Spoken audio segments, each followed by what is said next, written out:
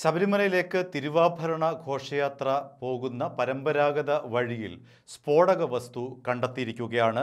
വടശ്ശേരിക്കര പോങ്ങോട്ട് കടവ് പാലത്തിന്റെ തൂണിന് അടിയിലാണ് സ്ഫോടക വസ്തുക്കൾ കണ്ടെത്തിയിരിക്കുന്നത്. പ്ലാസ്റ്റിക് ബാഗിൽ പൊതിഞ്ഞ നിലയിലാണ് ഏഴ് ജലാസ്റ്റിക് സ്റ്റിക്കുകൾ കണ്ടെത്തിയിരിക്കുന്നത്. ചൊവ്വാഴ്ച രാവിലെ ഇവിടെ കുളിക്കാനിറങ്ങിയ നാട്ടുകാരാണ് ജലാറ്റിൻ സ്റ്റിക്കുകൾ കണ്ടെടുത്തത്. പോങ്ങോട്ട് കടവ് പാലത്തിന്റെ അടിത്തറയോട് ചേർന്ന് ഉപേക്ഷിക്കപ്പെട്ട നിലയിലായിരുന്നു ഈ ജലാറ്റിൻ സ്റ്റിക്കുകൾ കിടന്നത്. രാവിലെ ഏഴ് മണിയോടെ കൂടിയാണ് നാട്ടുകാർ കണ്ടത്. പമ്പാനദിയിൽ വടശ്ശേരിക്കര ചന്തയോട് ചേർന്നാണ് പോങ്ങോട്ട് കടവ് പാലം.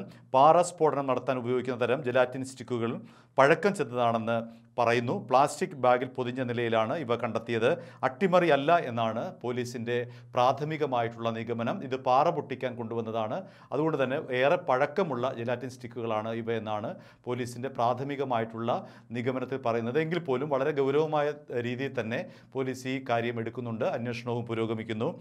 ഡോഗ് ബോംബ് സ്ക്വാഡുകൾ സ്ഥലത്തെത്തി പരിശോധന നടത്തി. ജില്ലാ പോലീസ് മേധാവി സുബിൽ മധുകർ മഹാജൻ റാന്നി ഡിവൈഎസ്പി മാത്യു ജോർജ് ജില്ലാ special branch DYSP R Sudhakarapillai Ranni police inspector M R Suresh അടക്കമുള്ള ഉയർന്ന ഉദ്യോഗസ്ഥർ സ്ഥലത്ത് എത്തി ശബരിമല നടയടച്ചതിന് ശേഷം ഇരുപത്തിയൊന്നിന് ഈ വഴിയാണ് തിരുവാഭരണ ഘോഷയാത്ര തിരികെ പന്തളത്തേക്ക് പോകുന്നത്. ഈ സാഹചര്യത്തിൽ സംഭവം ഗൗരവത്തോടെ കാണണമെന്ന ആവശ്യവുമായി ഹിന്ദു സംഘടനകൾ രംഗത്ത് വന്നിരിക്കുകയാണ്. തിരുവാഭരണ പാതയായ പോങ്ങാട്ടുകടവ് പാലത്തിന്റെ അടിയിൽ നിന്ന് സ്ഫോടക വസ്തുക്കൾ കണ്ടെടുത്ത സംഭവം ആശങ്കാജനകമാണെന്നാണ് ബി ജെ പി പ്രതികരിച്ചിരിക്കുന്നത്.